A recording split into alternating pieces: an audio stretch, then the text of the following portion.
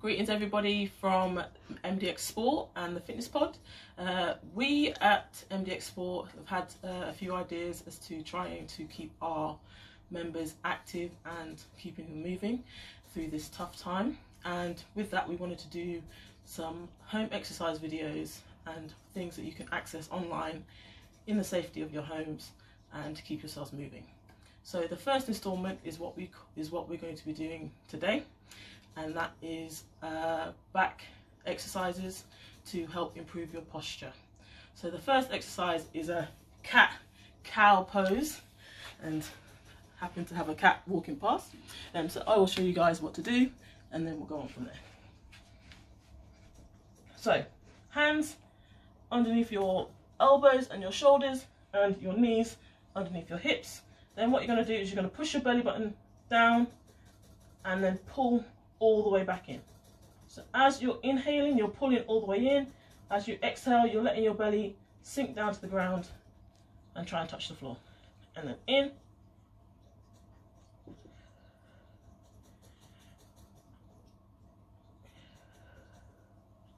And we're doing 10 reps.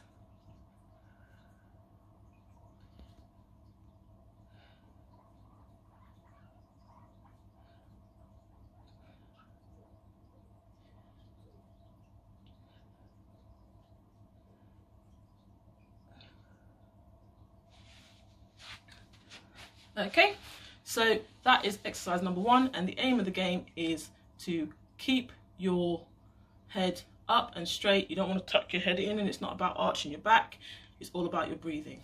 So, as I said, that is exercise number one. Okay, so exercise number two and three are very similar. So, exercise number two is standing T pose. So, this is all about trying to keep your shoulders um, strong and keeping them in line. So you can do them with your hands to start off with, and as you start to get better, you can use some dumbbells. Okay, so first off, let me show you what I'm to do.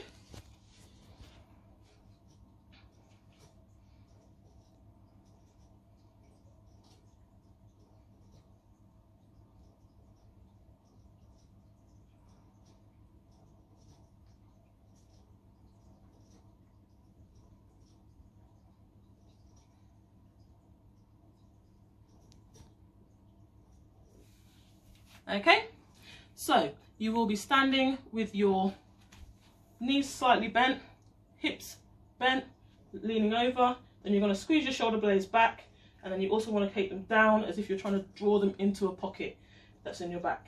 Okay, so you pull back, down, and then you want to turn your hands up so your thumbs are pointing towards the ceiling. Then you're driving your hands out and making a T shape with your upper body. Okay, so that is exercise number two.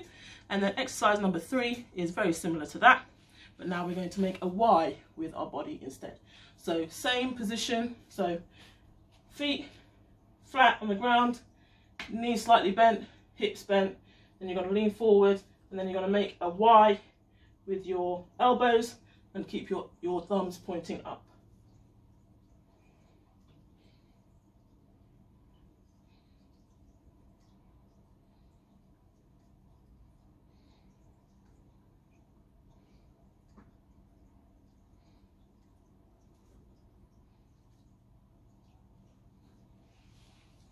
Okay, so through all of those exercises, you want to make sure that your core is engaged and your back stays neutral.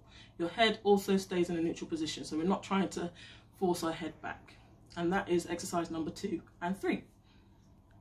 All right, guys, exercise number four. Um, we've got a friend who's decided to join us now. Um, she's realised we're doing uh, poses that have her name in it. So we've got a little friend.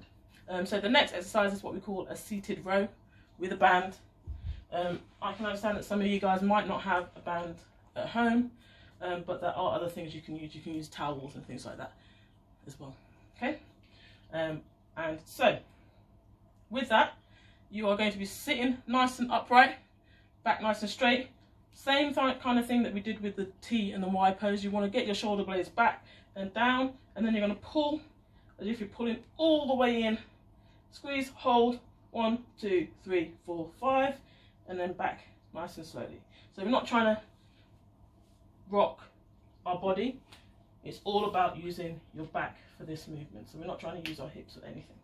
Okay, so pull all the way back and then slowly release. Okay, pull all the way back, hold it, one, two, three, four, five, slowly release. Okay.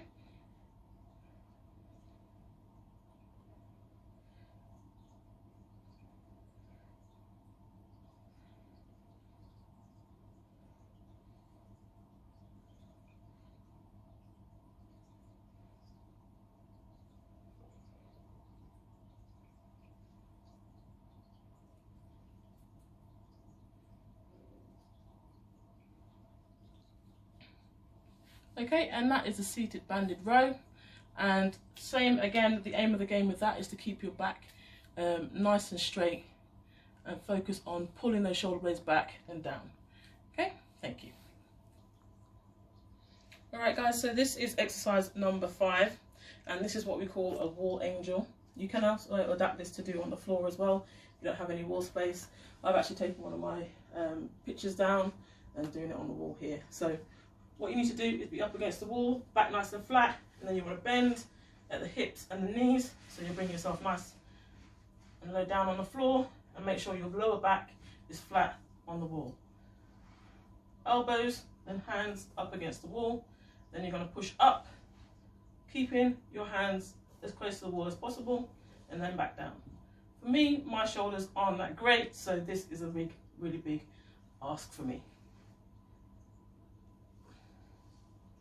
For those of you that might have really good shoulder flexion and shoulder um, flexibility, might be able to get all the way up with keeping your hands up against the wall. But the aim is to keep your hands and your elbows and everything connected to the wall. Okay? That's exercise number five. All right, guys, this is exercise number six. Um, so six and seven are all down on the ground. Um, so this one, number six, is uh, alternate Superman. So we'll be lying flat on the ground and we'll be doing a Superman position. So I'll talk you through it first and then I'll go down to the ground. Okay, so you lie flat on the ground with your stomach on the ground, keep your core engaged and then you're going to be doing alternate arm, alternate leg, lifting off the floor and holding it for five seconds.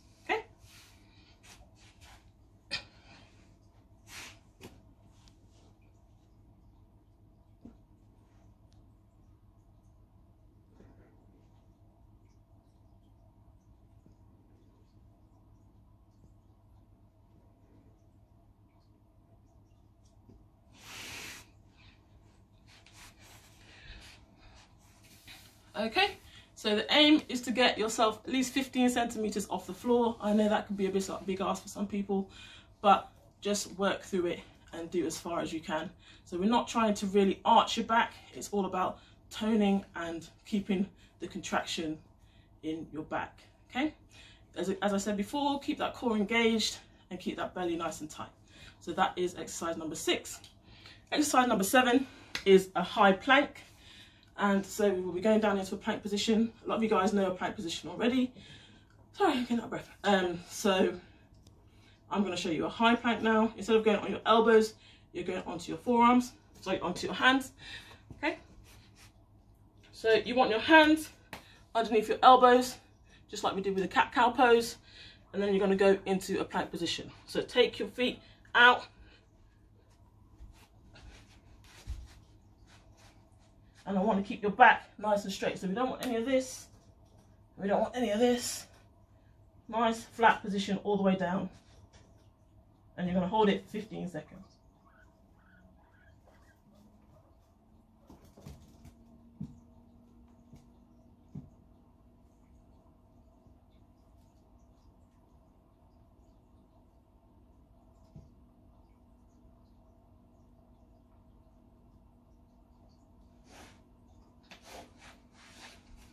Okay, so that is a high plank. It is a little bit more difficult than a normal plank that you would do on your elbows. So realize that that is a little bit more difficult. If you do have some issues with your wrists or anything like that, then stick with the one on your elbows and focus on keeping your core engaged. All right, guys, so that is all seven exercises. And if you have any ideas of workouts or what you would like to see us do, please post on our Facebook page or on our Instagram page, and we will then deliver those for you. Again, thank you so much, and I hope you guys stay safe and stay active. Thanks.